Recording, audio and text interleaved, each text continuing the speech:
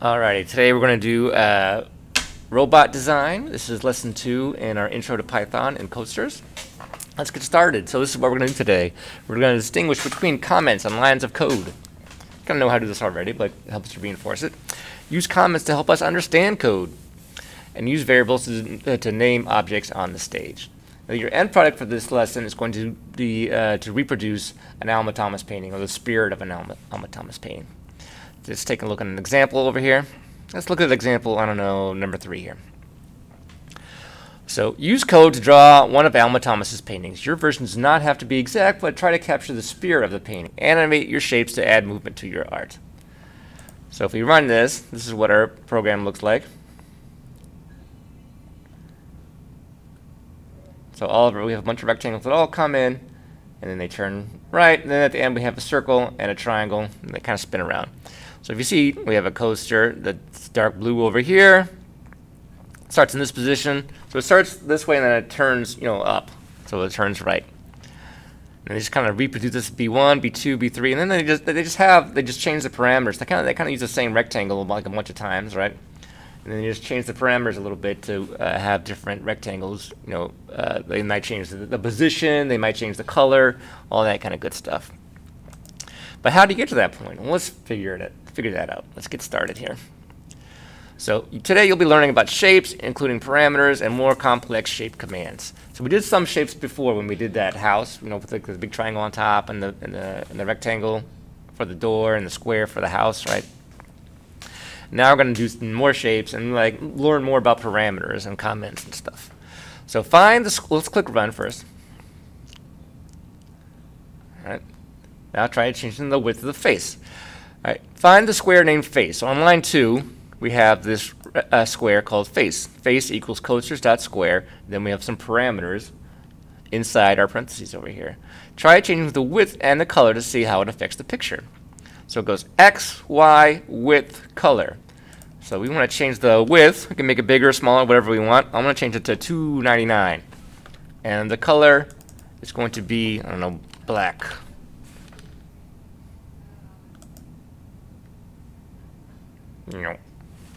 There we go. Check plus. Great job. You made the robot's face bigger. Just a little bit bigger, 19 pixels bigger.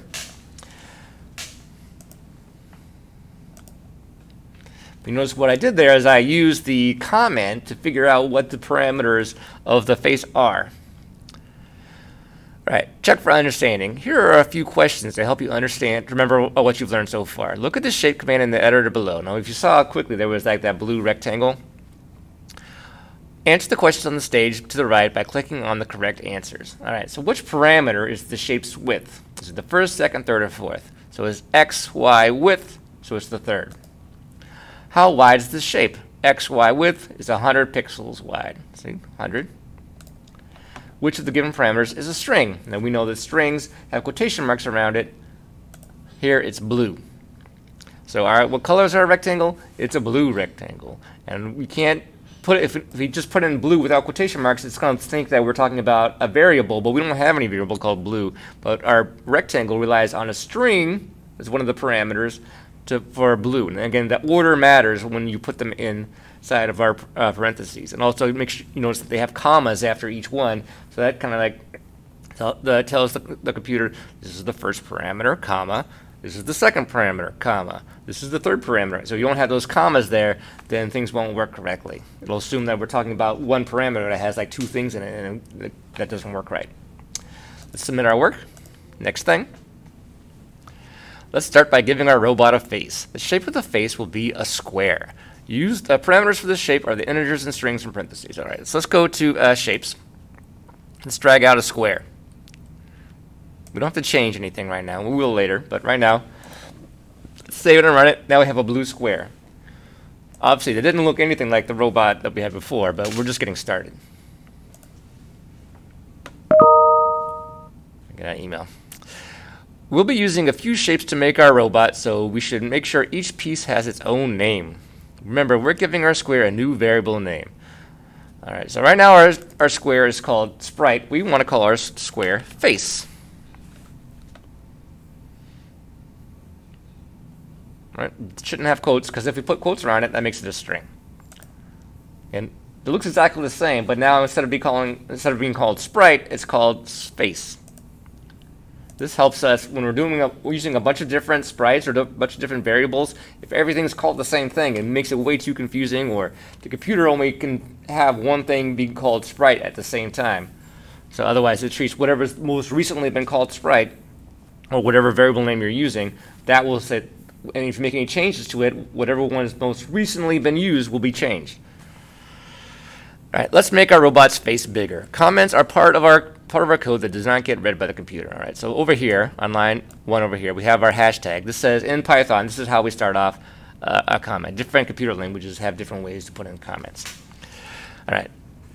Uh, commenting code start with a hashtag and our gray. Use the comment and blah, blah, blah. Let's change the width to 280. So XY width, 0, 0, 100, 280.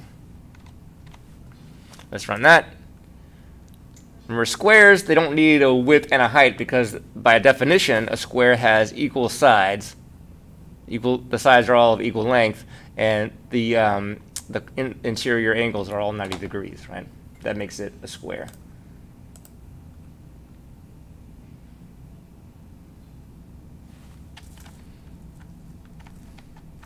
All right. Uh, let me see. Save and run. Uh, submit work. Next thing. This program has a bug, which means we need to debug it. When a shape has multiple parameters, the parameters must be separated by commas. Click Run and read the error message. Bad input on line 2. Debug the program so that it draws a cyan colored circle.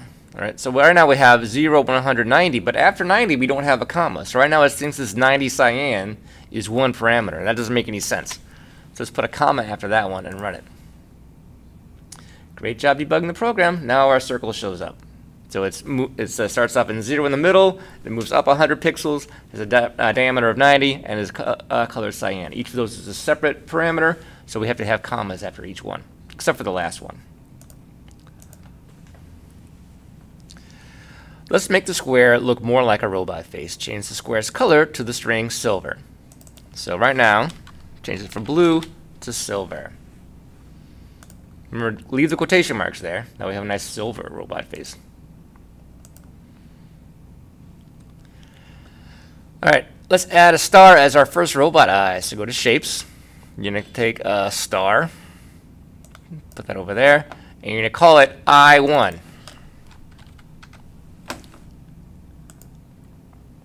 Here, now we have a big fat star in the middle of our robot face.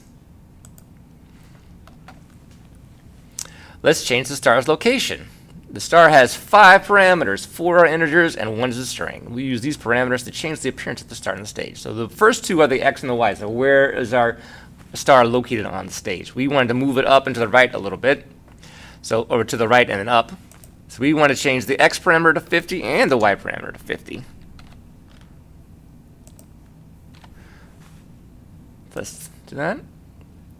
Don't forget, they always give you like a little preview of what it looks like over here. Let's uh, submit work. Does, do these things match? Yes, they do. So we know we got it right. Plus, we got our check plus too. Let's resize the eye so that it fits the robot's face. Change the star's points uh, parameter to 7. So points, right now it's 5. We change that to 7. Change the star's radius parameter to 30. Right now it's 100. Change it to 30. Now we have a much smaller seven-pointed star instead of a bigger five-pointed star. Let's change the robot's eye color. Color parameters are strings. They should be green surrounded by quotes. Right now it's blue. They want it to be green. Make sure you keep the quotation marks there. Now we have a green seven-pointed star.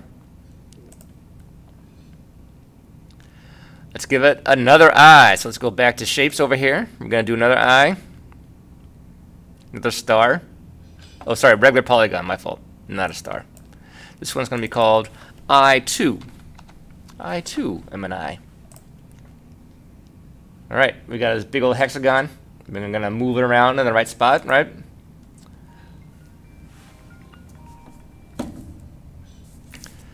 Alrighty. Submit work. Next thing. Let's change the star's location. So we're going to change it to negative 50, so move it to the left a little bit, and then up a little bit, so it lines up with our first eye. I think that's all we have to do, right? Yep. Obviously, we have to change the size and all that kind of stuff. Let's make uh, I2 an 8-sided polygon. So right now it's XY side, so we have to change this from 6 to 8 to octagon. Right, and then next we'll probably change the, uh, the size of it. Next activity. You see now it has 8 sides.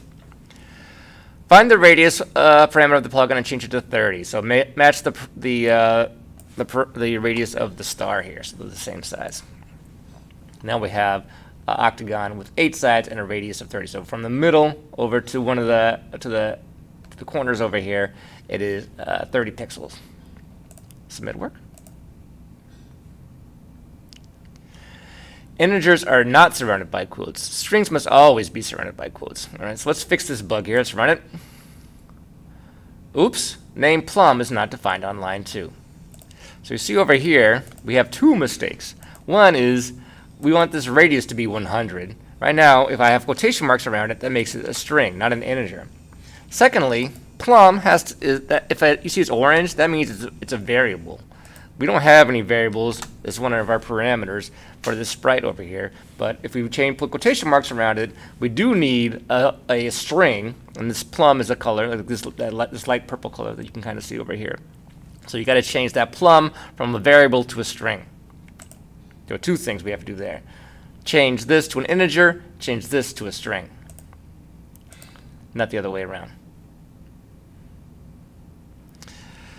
Now let's draw the robot's mouth. All right, so we're gonna go back to shapes over here. We're gonna, I'm gonna drag out an ellipse. We're gonna change it to mouth.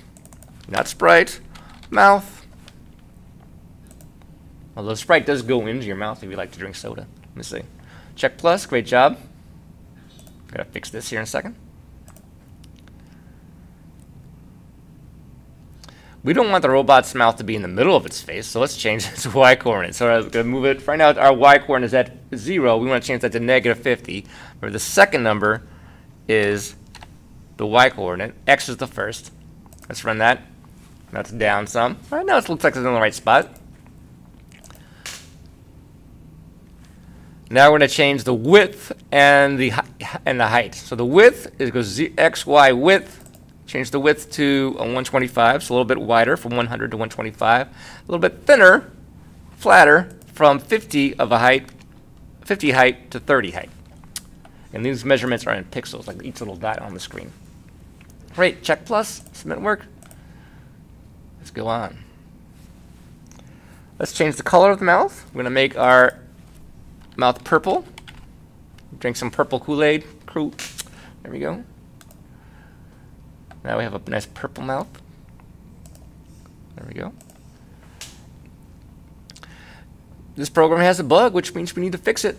This program has a logic error. Let's take a look at it. So right now, our, our rectangle is has uh, a height of 30 and a width of 300. We want it to be the other way around, a width of 30 and a height of 300. So it goes x, y width, so we change this to 30 and change this to 300. This way it'll match this rectangle over here. Let's run that. So again, the order of our parameters are already set. So when I say codesters.rectangle, and I then I have my parentheses, it expects certain things in a certain order for the parameters. We you can't just pick and choose, you know, which which parameter comes first. Those are set already. So expect the x and the y, then the width, then the height, and then the color. Check plus, submit work. Next activity.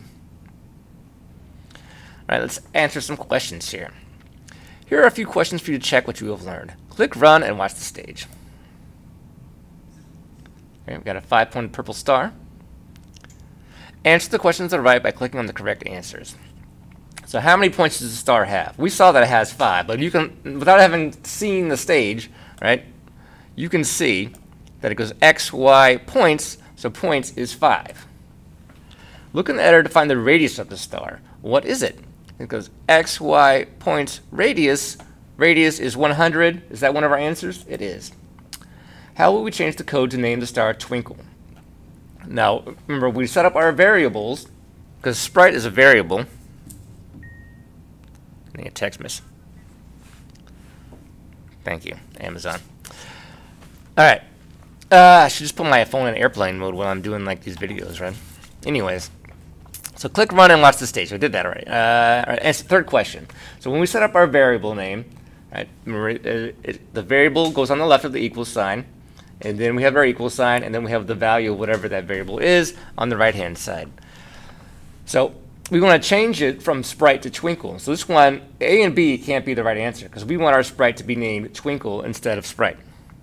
So over here, we have C and D. Now it can't be D because D has quotation marks around it. That would make it a string. So the only answer that makes any sense is C.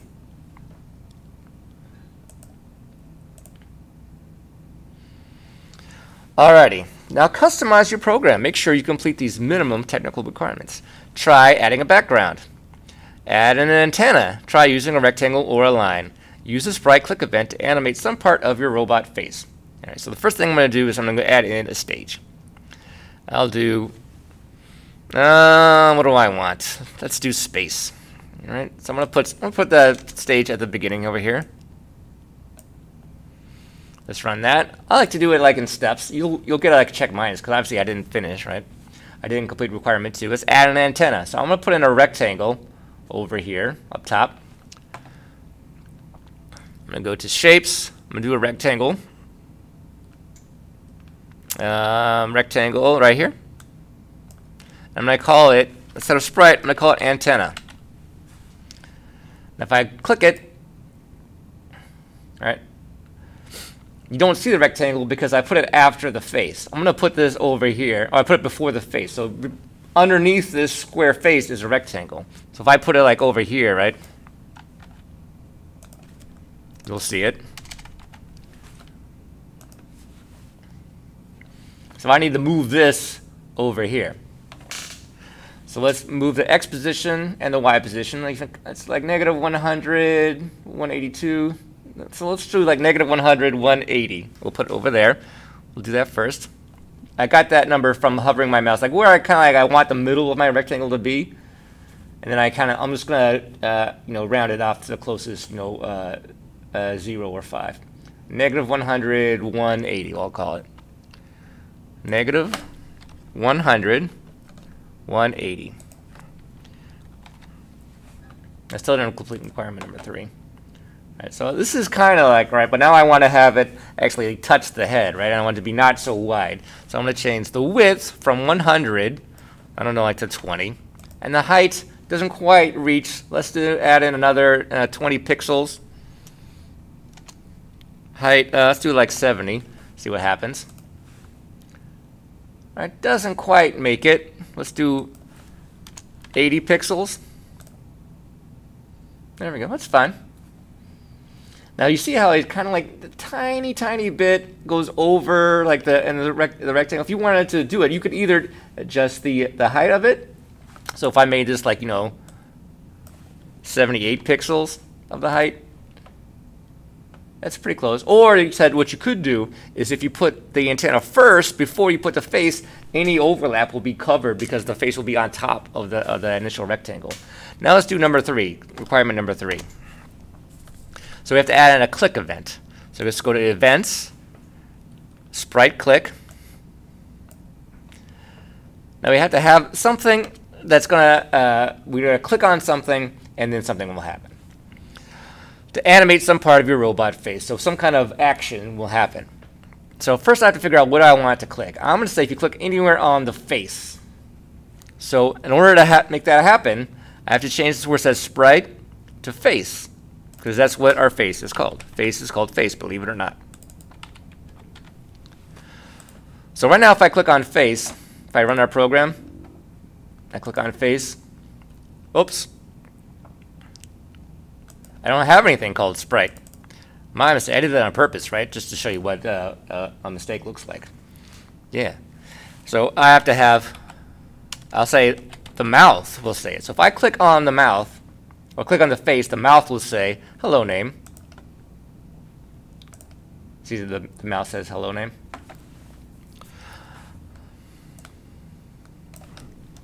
Hey, you clicked on me. Now I want to add in some more actions. I want to make my uh, eyes spin around, right? So I'm going to go to Actions. I'm going to do a turn right. Where did we go? Where's turn right? Let's do turn right and a turn left. Oops, this one doesn't line up. So in order to be considered to be inside the click event, we have to make sure that it's everything is indented correctly. Now I have two things called sprite. I don't have anything called sprite. I have I1, I2. So I'm going to do I1 and I2. Now I'm going to make these do a 360. Spin all the way around. One revolution.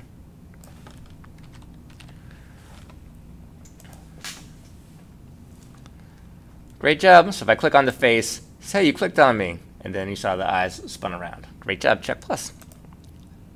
What time is it? 10:36. All right, good time. All right. So now we got. Now we're going to get to that Alma Thomas painting. About the project, many artists use simple shape arrangements to create impressive works of art. Alma Thomas was an African American expressionist painter in the early 20th century, so you know 1920s and that kind of stuff. She used shapes and colors to create many well-loved pieces of art. Your task, try to recreate an Alma Thomas painting in code. Use what you know about the various shapes in the Shapes Toolkit to make your own piece of art. Don't worry about matching exactly, try to capture the spirit of the painting. Let's get started. So, let's look at our ticket first. Create a project planner. Step one, identify the main project goal and the listed project requirements. So the main project goal is to use code to draw one of Alma Thomas's paintings. I'm going to copy that. I'm going to put that over here on goal number one. Other things I want to do. I want to, um, uh, let's see, use shapes to um, recreate the painting. Add animation. All right, I don't really have a fourth goal. Describe your project.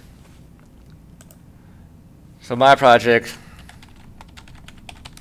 will recreate, I think the name was like, you know, Untitled, create an Untitled Alma Thomas painting. using six rectangles. Sex rectangles, not sex rectangles. That'd be totally different. Six rectangles. All right, there we go. Then I use pseudocode. So the pseudocode you're going to do in the actual code. To give you an example over here. So here's the pseudocode, if you remember from the last project, is going to be, it's a, it starts off with a hashtag, and just going to write in plain English or whatever language you're going to want to write it in, is you're going to describe what's happening or what you want to happen in this section of code. So here I have create two big two big blue rectangles. So I have blue 1 and blue 2. then I have a hashtag sprite uh, create the rectangles in the middle. So I have these four rectangles over here. Then step four, add actions to animate shapes. So here I have my uh, my uh, my my rectangles in the middle are all uh, hiding, waiting for a second, and then showing back up again. So same thing, right? Step four is to actually build the, pro uh, the product, uh, the project. So you first you, you I can't talk. You do your pseudocode, and then step four is to actually create, use the code to actually do the actual things that you want your program to do, right? And I suggest you do it as you finish each step. Click save and run. See if it's working the way you want and then when you're done for everything, you're going to go ahead and make sure that um, you answer the self-check questions, and then you turn it in, and when you're ready, then you do your reflection. Did you meet all the assignment requirements? Uh, yes, I did. Did you meet your personal goals for your finished product? I did. Did you include comments with Studio pseudocode? I did. So let's take a look at what mine actually looks like. Let's run it.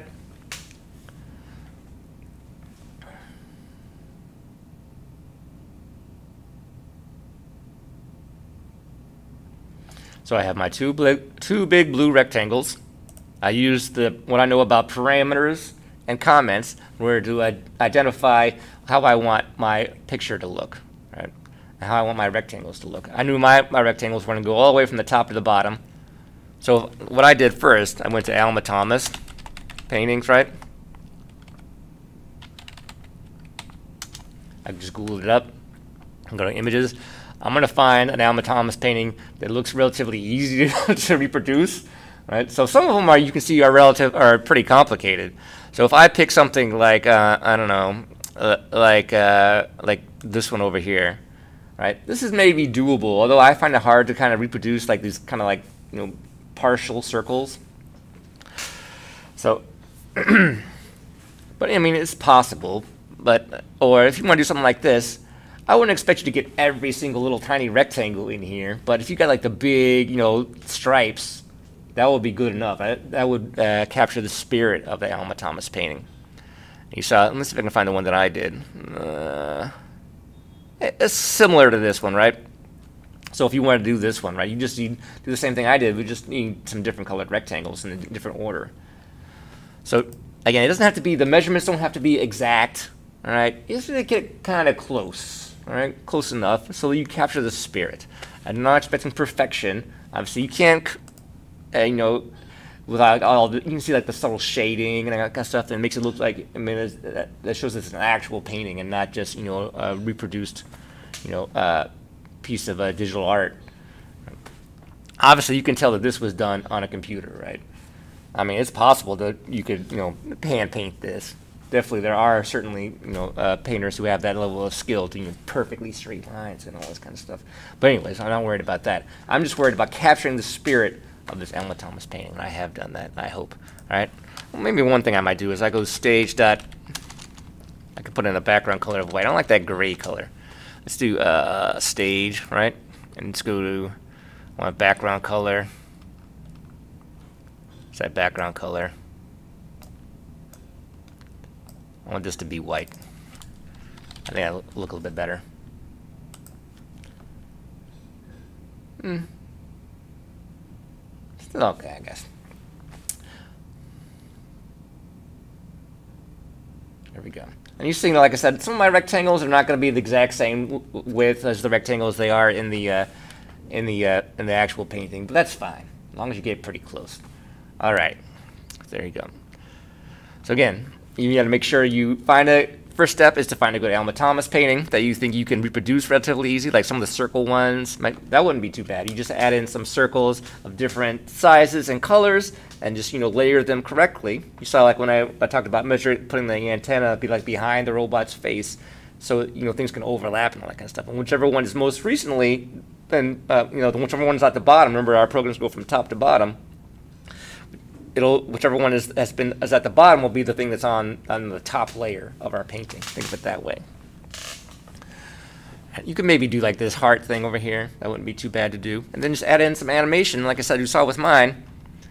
I just basically I just did this right. I did my red shows up, red hides, waits a second, and then my red shows up. And then I just copied this and pasted it, and then I all I did was just change the variable names from red to orange, and from uh, to yellow and, and for green. And then I just copied all this and pasted it again so it, so it happened twice. And that was it. That's not too bad, right? And for this, like I said, this is a relatively simple.